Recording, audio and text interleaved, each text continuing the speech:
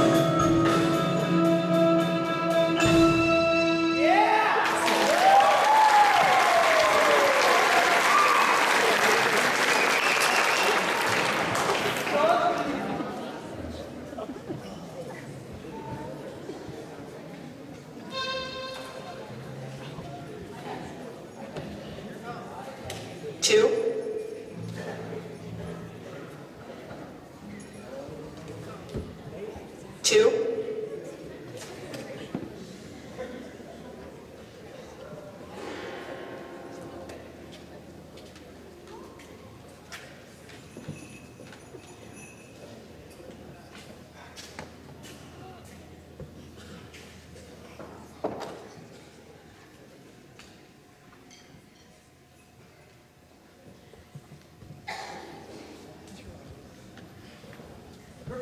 to that, before we